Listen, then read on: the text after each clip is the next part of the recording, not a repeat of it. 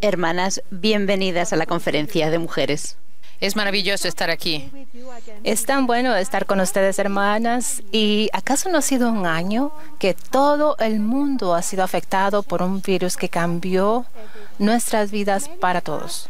Muchos de nosotros han enfrentado la enfermedad, ya sea de nosotros mismos, de nuestros familiares, y muchos han perdido a seres queridos. Hemos perdido trabajos o hemos ah, sido afectados con pérdidas económicas. Los padres instantáneamente se convirtieron en maestros en la casa con los hijos, mientras mantenían otras responsabilidades. Desafíos de la salud mental aumentaron al aguantar la incertidumbre y la soledad los líderes de la iglesia encontraban formas de apoyar a los miembros mientras mantenían a todos seguros. No habían respuestas posibles y no había una respuesta de que las hermanas iban a ser consoladas en sus desafíos. Con el Señor, ustedes suplicaban que las cuidara y también sintieron el poder de sus oraciones. Nos unimos al profeta y oramos y ayunamos para que esta los milagros se apresuraran. Y esto también llegó a pasar. También tuvimos ejemplos infinitos de encontrar maneras de bendecir a nuestros vecinos, aun si fuera a un distanciamiento social. Aprendimos a comunicarnos con otros por la tecnología. Pocos de nosotros han escuchado de esto hace un año y ahora podemos manejar esto tan fácilmente como los adolescentes. No importa dónde vivamos, todos hemos tenido momentos de ansiedad durante la pandemia, pero dado a estas experiencias, puede ser algo que nos une. Nuestros corazones están enternecidos el uno hacia el otro y comprendemos que cada corazón tiene un dolor personal. Cada persona se ha sentido aislada y necesitamos sentir que le importamos a alguien y tenemos valor. Nuestro tema esta mañana es la promesa de pertenecer. ¿Qué significa esto? Científicos han documentado que la emoción humana fundamental es la necesidad de ser aceptado por otros, el pertenecer, y esta necesidad forma nuestra, nuestra manera de pensar y comportamiento. Todos venimos a la Tierra con este deseo de pertenecer y ahora nos encontramos aquí en esta hermosa Tierra que a veces puede ser desafiante. A veces nos encontramos cerca de personas y a veces no y puede ser difícil. ¿Cómo nos podemos ayudar el uno al otro a sentirnos aceptados y amados, al igual que nos sentimos en nuestro hogar celestial? Esa es la pregunta de hoy. En la iglesia, cada mujer de 18 años o más es miembro de la Sociedad de Socorro. Hoy hay más de 7.5 millones de miembros en, nuestra organización, sea que sirvan en la primaria, mujeres jóvenes, Sociedad de Socorro o Escuela Dominical, todas son somos parte de la sociedad de socorro. Y sea que acaben de, de salir de la preparatoria o sean mujeres con carrera, con niños pequeños, divorciada, viuda o cualquier combinación de estas situaciones, absolutamente pertenecen a la sociedad de socorro. La promesa de la sociedad de socorro es que podemos convertirnos en una sociedad de Sion. Cuando recordamos quiénes somos y los convenios que hemos hecho, nos veremos las unas a las otras como hermanas eternas. Nos reconoceremos desde hace mucho tiempo cuando combatimos las unas lado a lado contra el dragón y sus ángeles para el derecho a elegir y donde todos confiamos a Jesús para que llenara su promesa de ser nuestro Salvador. Cuando nos preparábamos para el tiempo aquí en la tierra, esperábamos que todos los que se unieron con nosotros en ese esfuerzo de conquistar a Satanás vinieran de vuelta a la tierra durante este periodo mortal. Pero no había competencia. Todos queríamos que regresaran. Queríamos que todas nuestras hermanas valientes y nuestros hermanos estuvieran ahí también. Cuando nos vemos los unos a los otros desde un punto de vista eterno, nos vemos como hermanos, hermanas eternas. Nos alegramos con los éxitos, lloramos con nuestras penas, perdonamos nuestros errores y nos fortalecemos en nuestras debilidades. Puede que no seamos perfectos, pero todo lo que el Señor nos pide es que empezamos teniendo un corazón que esté dispuesto. ¿Estamos dispuestos a llevar las cargas los unos de los otros? ¿De llorar con los que lloran y de consolar a los que necesitan consuelo? ¿Estamos dispuestos a ser testigos de Dios? Y al hacerlo estamos manteniendo nuestros convenios con Él. Ahora, claro, necesitamos mejorar. Los estudios nos han demostrado que la razón principal por la que la gente se aleja de la religión es porque se sienten que no pertenecen o que alguien les juzgan, más que si por falta de creencia. Lo bueno es que esa situación puede ser eliminada si de verdad abrimos nuestros corazones y nuestros brazos a todos. Como decía mi madre, deberíamos ser una luz y no un juez. Eso es algo que se debe dejar solo para el Señor. Nuestra responsabilidad es de extender una mano abierta y abrir nuestros corazones. Y al hacerlo nos daremos cuenta que hemos creado un lugar perfecto y seguro para crecer y compartir. Un lugar seguro para ser lo mejor que podemos ser. Hermanas, para darnos un poquito de práctica en responder con amor para que la sociedad de socorro sea un lugar en donde toda mujer sienta que pertenece, pensamos que sería interesante compartir una situación y responder con un par de respuestas. Ustedes nos dicen la mejor respuesta al levantar su mano. Siéntense en la libertad de poder seguirlo en la casa. Entonces, la situación número uno. En la reunión sacramental ustedes ven a un misionero que ha regresado a casa antes de tiempo de su misión. Entonces la respuesta A. ¿Qué estás haciendo aquí? Acabas de irte. ¿Tuviste que volver a casa? La respuesta B. Eh, me alegra verte. Dime dónde serviste. ¿Cuál es la mejor respuesta? ¿A o B? Bueno, la mejor respuesta es B. Ustedes ven, ahora la situación número dos. Ustedes ven a una pareja adulta joven que ustedes conocen que salieron a una cita. La respuesta A. Qué bien veros. ¿Qué está ¿Cómo se está yendo en la escuela y en el trabajo? Hey, ¿escucho las, los campanarios de bodas? Entonces, ¿cuál es la mejor respuesta? ¿A o B? Sí, es A. Ahora, escuchen esto. La situación número tres. En la iglesia ustedes ven a una pareja que han estado casados por algún tiempo y no tienen ningún hijo. La respuesta A. Porque no tienen niños. ¿Cuándo van a tener niños? No se están haciendo jóvenes, ¿eh? La respuesta B. Disfruten este tiempo sin hijos. ¿Quieren uno de los míos? Entonces, ¿cuál es la mejor respuesta? A o B? Bueno, de hecho, esta es una pregunta para... Las dos son raras e insensibles. Ahora la situación número cuatro.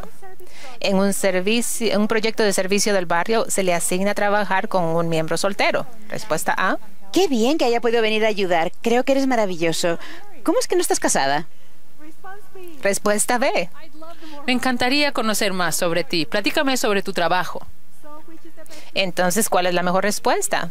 ¿A o B? Sí, la mejor respuesta es B. Entonces, ahora la situación número 5. Su amiga le dice que se está divorciando de su esposo. Respuesta A. lo siento mucho, pero voy a estar aquí lista para escuchar si necesitas La respuesta ayuda. B. ¿Realmente has tratado de hacer que esto funcione? Me preocupan los niños. ¿Has orado y ayunado? ¿Cuál es la mejor respuesta? ¿A o B? Sí, la mejor respuesta es A. Entonces, gracias por participar. Ahora, trabajemos juntos, veamos, escuchemos y respondamos con amor. Hoy queremos compartir algunas ideas sobre cómo crear ese lugar seguro para nuestras hermanas. La hermana Bingham hablará de encontrar un lugar para todos, para que todas contribuyan. La hermana Eubank hablará de ver más allá de las diferencias obvias y yo voy a hablar de aquellas que, incluyen las que, las que pueden estar afuera. Muchas de ustedes están muy apoyadas con su grupo de la Sociedad de Socorro. Tienen un llamamiento, participan en Ven, sígueme con amigos y familiares, se apuntan a los servicios de proyecta que se ofrecen en su barrio o en su estaca. A lo mejor tienen un grupo de mujeres con las que pueden compartir sus pensamientos y se apoyan los unos los otros. Qué bendición más grande para ustedes y para aquellos que están en su círculo. Ahora vuélvanse hacia el otro lado del círculo. ¿Quiénes son las mujeres que no están comprometidas? ¿Quién vacila en unirse? ¿Quién es la que no quiere hablar o no participa? Queremos que todas nuestras hermanas sean parte de nuestra sociedad de Sion. ¿Y cómo podemos convertirnos en alguien con un corazón y una mente? ¿Cómo podemos hacer que todas las hermanas estén en el círculo? Podemos mirar en los márgenes. Chris, una maravillosa presidenta de la Sociedad de Socorro que yo conozco, tiene el hábito de mirar a aquellos que no están involucrados y cuando los ve, los saluda con una sonrisa y los mira cara a cara, escuchando lo que están diciendo. Como les pone atención de forma genuina, ellos se sienten vistos y oídos y al escuchar a menudo encuentra cuáles son sus fortalezas y cómo pueden contribuir. Busca oportunidades para que sirvan y ella se pregunta, ¿quién necesita una invitación al baile? ¿Quién no tiene un llamamiento? También a veces no está buscando a la persona que tiene todas las habilidades, sino a una que está dispuesta y que necesita ser incluida reconoce que hay un potencial o talentos escondidos que están esperando a ser desarrollados en cada una de las hermanas. Y en ese proceso inspirado los individuados entran dentro del círculo y al Evangelio de Jesucristo y las familias enteras son bendecidas. Cecilia fue una de esas mujeres que no estaba comprometida con la sociedad de socorro. Escuchemos cómo Cris y Cecilia comparten el impacto que tuvieron. Noté que estaba en la iglesia y nunca la veía en la sociedad de socorro, pero se, se, apuntó como voluntaria para ir con nuestro barrio a servir comida después de un huracán. No fue un trabajo muy glamuroso, pero Cecilia podía trabajar. Poder eh, ser de servicio a otras personas es algo que me ayuda mucho. Después, un año después de esa ocasión, mi consejera se mudó de lugar y necesitaba un consejero. Y yo pensé, ella sería una muy buena consejera. Así que puse, le di el nombre al obispo. Disculpen. Y yo trabajaba a tiempo completo, entonces tenía que decidir eh, si tenía ese tipo de tiempo para comprometerme. Hablamos un ratito y al final dijo sí, sí, creo que estoy dispuesta a hacerlo. Y después de COVID me dijo, mi, mi, cuñada mandó estas mascarillas, son estupendas. Creo que nuestra sociedad de socorro debería hacer esto. Pensé que iba a ser una buena idea y yo sé que todos en la sociedad de hoy pueden coser o pueden manejárselas o sin tanto dinero. Y yo tuve la sensación de decir, sí, esto se sintió inspirado, pero pensé, Cecilia tiene revelación de la misma manera que yo la tenga, así que hagamos ese proyecto. Yo sé que las personas en nuestro barrio por lo menos tienen mascarillas si las necesitan o las quieren no es tanto de saber quién puede hacer el mejor trabajo, sino quién está dispuesto. A veces tengo una necesidad, ah, quién no tiene una invitación, a quién puede invitar. Y a veces es quién tiene una necesidad y qué pueden hacer para estar incluidos.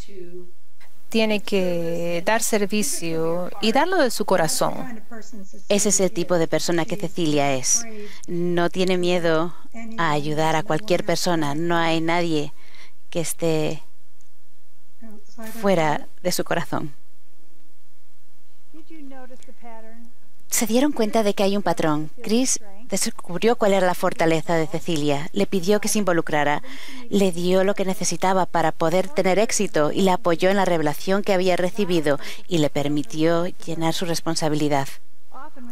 A veces cuando estamos recomendando a alguien para un llamamiento buscamos a un líder con experiencia, a un maestro con experiencia o a alguien que sepa que tiene lo que pensamos que necesitamos para nuestro equipo.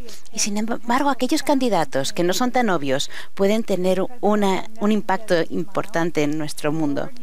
Como dijo el presidente Nelson, el Señor utiliza a aquellos que uno no piensa en ellos para realizar lo imposible. ¿Qué pasa si no asumimos que alguien no puede o no va a servir? Me encanta el patrón inspirado de Chris. Identifica una necesidad y después hacer estas preguntas de seguimiento. ¿Quién tiene la necesidad de servir? ¿Y qué pueden hacer para estar incluidos? Esas preguntas nos van a ayudar a agrandar nuestro círculo hasta que todas las hermanas estén brazo a brazo, podamos convertirnos en uno, listos para la sociedad de Sion, que será que será más grande que nuestra sociedad de socorro de hoy en día. El presidente Iron dijo que incluso las diferencias pueden ser una oportunidad. Dios nos ayudará a ver la diferencia en alguien más, no como una fuente de irritación, sino como una contribución. Las diferencias pueden hacer que nuestro mundo se enriquezca. Cuando reconocemos y celebramos las fortalezas más que las nuestras propias, podemos realizar la obra del Señor a su manera. La hermana Yuang hablará ahora acerca de ver más allá de las diferencias.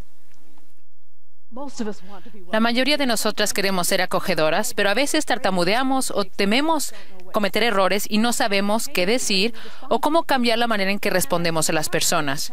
Y me impresiona el capítulo 8 de Mateo.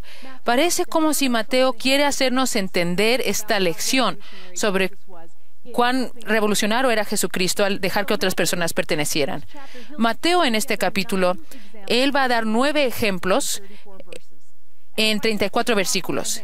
Y si yo los cuento con mis manos, él limpió al leproso, ayudó a la mujer sirvienta, él sanó a la suegra de Pedro, él alentó a un escritor judío, él calmó la, la, tormenta y calmó los corazones de los discípulos y sanó a dos hombres que vivían entre las tumbas, que estaban poseídos de espíritus y le gritaban.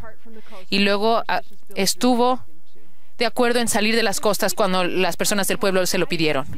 Jesucristo tiene ojos para ver más allá de las diferencias y ve nuestros corazones y, el potencial que tenemos.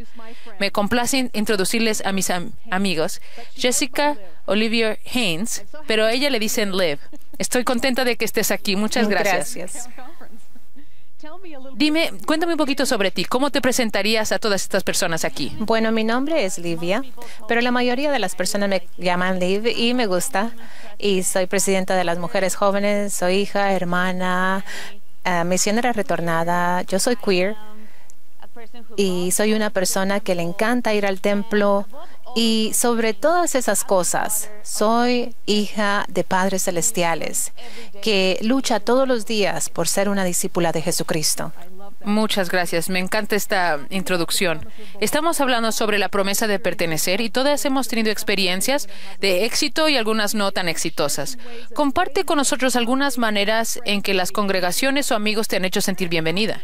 Seguro. De hecho, yo dejé la iglesia después de convertirme. Ah, me llegué a dar cuenta que nunca me había lastimado el Evangelio, pero yo había sido lastimada por las interpretaciones que las personas habían hecho comentarios que no mostraban el amor que deberíamos demostrar el uno por el otro. Y una de estas cosas que me hizo sentirme acogida, bienvenida, es ver a mis líderes, obispos que confiaban en mí en darme un llamamiento y en verme por quien soy, no solamente por una parte de quién es Liv. Y me encanta cómo mi presidente de misión, cuando sea que hablaba con él, me preguntaba, ¿tú eres mi hermana en Cristo? Él no me preguntaba qué he hecho o cuando estaba soltera, no me preguntaba con quién estaba saliendo, se preocupaba por mi identidad eterna más que las decisiones que yo estaba tomando en mi vida. Eso es muy práctico. Me, alegro que hayas dicho eso. Ahora, tú mencionaste que eras presidenta de mujeres jóvenes. ¿Cómo le estás enseñando a las mujeres jóvenes con las que sirves y trabajas a ser inclusivas? Esta es temporada difícil en la vida. ¿Qué tipo de cosas hablas con ellas? Algo que de verdad quiero que las mujeres jóvenes en mi barrio y todos que con los que me comunico es que sientan ese amor. Hay tantos lugares en donde podemos estar en nuestra jornada. Eh, lo que funcionó para mí tal vez no funciona para alguien más, pero ustedes nunca pueden equivocarse en mostrarle a alguien amor. Si ustedes no saben qué decir, pueden preguntar.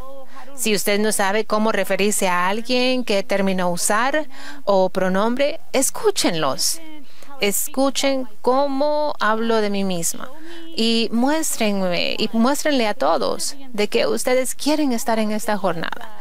Tenía un obispo que cuando tuve mi primera entrevista con él y le dije que de mi identidad, me dijo, ah, no sé nada de esto, pero estoy dispuesto a aprender. ¿Qué puedo leer? Ah, ¿Qué puedo hacer mejor? Para ayudar a las personas a saber que este es un lugar seguro. Al final del día, todos somos hijos de Dios. Yo no creo que las personas tengan que escoger entre eh, sus seres queridos y la iglesia. El Padre Celestial que yo conozco y el Salvador en el que yo creo, nunca le van a decir a una madre que le dé la espalda a su hija o a su hijo y siempre va a estar con nosotros para ayudarnos a encontrar las respuestas y a navegar esta jornada. Estoy agradecida por lo que has dicho porque todos aquí, todos estamos siguiendo quizás algunos mandamientos y otros no, estamos tratando de mejorar, pero la capacidad de amarnos el uno al otro y alentarnos en esta jornada es lo más importante que podemos hacer Sí, y a veces eh, yo recuerdo como miembro de la Sociedad de Socorro, cuando estaba en el barrio de solteros, escuchaba a las hermanas. Me preocupaba tanto que se enfocaran en mis pensamientos que en la guía del espíritu. Pero hablé con mi presidenta de la Sociedad de Socorro y ella me asignó a otras cosas que todavía podía servir a las hermanas. Escribía cartas, cocinaba para ellas. Todavía quiero servir, todavía quiero ser todo lo que pueda hacer como miembro de un barrio pero también reconozco ah, en dónde estoy. Ah, en dónde me siento cómoda en ese momento. Y deberíamos de respetar esas ah, limitaciones. Si al progresar tal vez podemos hacer otras cosas que pueden contribuir en otras maneras. Nos has ayudado mucho hoy. Estamos hablando sobre la promesa de pertenecer y quiero preguntarte, ¿cuáles son las promesas del Señor en las que tú confías? ¿Cuál es tu testimonio sobre esto? Por mucho tiempo sentí que reconocer quién soy me rompió, me quebrantó y tenía vergüenza de decirlo en voz alta. Siempre tenía esos sentimientos, pero me llevó como 20 años verme a mí misma en el espejo y decirlo en voz alta.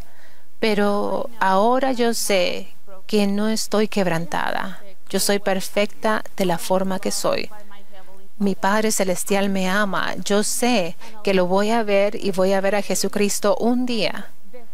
Y la plenitud que yo siento ahora va a ser aún um, más grande y mayor de lo que jamás he experimentado.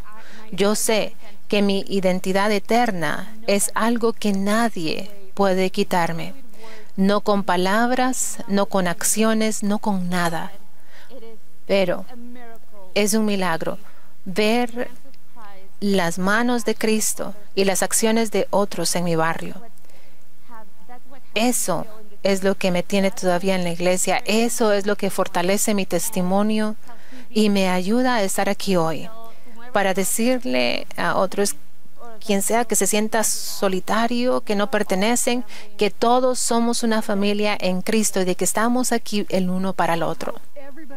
Espero que todos los que estemos aquí viendo, todos en esta audiencia, reconozcan la valentía que toma estar aquí, en este escenario y hablar sobre esto. Todos tenemos la necesidad de comprender y de alentarnos los unos a los otros al tratar de vivir el Evangelio y guardar los mandamientos. Estoy orgullosa de ti. Muchísimas gracias.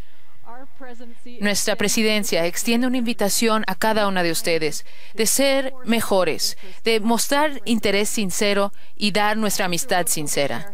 Ahora la hermana Aburto va a hablar sobre cómo experimentar el gozo de ayudar a reunir a todos en los brazos del Salvador. Vivimos en un tiempo cuando las promesas de Dios a su pueblo del convenio empiezan a cumplirse. Como hijos de Dios, hemos sido esparcidos de su presencia. En este mundo estamos sujetos a las pruebas y dolores. Sin embargo, nuestro Señor Jesucristo nos ha prometido que Él va a recogernos como una gallina recoge a sus pollitos bajo sus alas. Si nosotros nos arrepentimos y regresamos a Él con un propósito de corazón. En esta imagen tan hermosa, una gallina cuida a sus pollitos todo el día y toda la noche. Ella los nutre y constantemente los está llamando para que no se alejen mucho de sus alas protectoras. Sus pollitos la conocen y la siguen, buscando su protección. En la misma manera, el Salvador nos recoge a nosotros con su cuidado y su amor. Como los pollitos, nosotros somos vulnerables y dependemos de su gracia. Como discípulos de Cristo, nosotros también podemos ayudar a recoger a su pueblo. Y Esto nos trae gozo. Yo escuché historias hace unos años de una hermana que, se, que la voy a llamar Rose. Y ella no había asistido a la iglesia por muchos años. Había tomado su propio camino en la vida y tomó, algunas ah, decisiones que la hacían sentirse incómoda. Su obispo y la presidenta la primaria conocían su situación y tenía estuvieron en consejo y dijeron de que si se le llamaba como maestra de la primaria, ella y los niños en su clase podían ser bendecidos. El obispo le extendió el llamamiento a Rose y de ahí dudosamente aceptó. De ahí la presidenta de la primaria se reunió con Rose, la orientó y le aseguró de que ella iba a recibir ayuda y apoyo de muchas personas, particularmente de Dios. De ahí, el obispo y la presidenta de la primaria se reunió con los niños y les dijeron, ustedes pronto van a tener una nueva maestra y ella va a necesitar mucha ayuda y amor de ustedes. Ella no ha asistido a la iglesia por muchos años y, al igual que ustedes, ella está aprendiendo muchas cosas nuevas del Evangelio de Jesucristo. ¿Creen que pueden ayudarla? Los niños con ansias dijeron, sí, vamos a ayudarla. Los niños, ellos la recibieron con amor puro y preocupación. La ayudaron a empezar a servir en su llamamiento, le preguntaban a sus padres, ¿qué puedo hacer esta semana para ayudar a mi maestra de la primaria? Cada domingo venían listos para contar historias relacionadas a la, lección de las escrituras. Los padres también se comunicaron con Rose. Y muy pronto ella tenía una familia amorosa nueva en la congregación. Ella creció en su llamamiento y en su amor por esos niños. Por medio de ellos, ella podía sentir el amor de Dios por ella y ella floreció en su capacidad de enseñar y en su crecimiento espiritual. Rose también pudo ah, superar estos retos que tenía y que le impedían regresar a la iglesia antes y reunirse con otros santos. Ella naturalmente pudo ser más aceptar, aceptar a otros con más facilidad y ayudarlos. Podemos ser más como los niños y aceptarnos el uno al otro con compasión y sin juzgar. Todos tenemos diferentes caminos, pero podemos caminarlos juntos.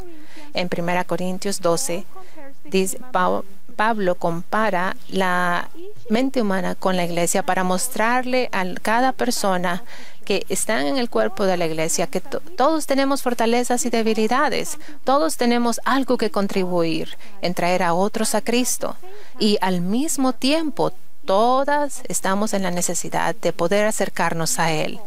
Todas podemos, incluso los niños y los jóvenes, poder recoger a otros activamente para que sientan el amor de Dios y llegar a ser discípulos de Jesucristo.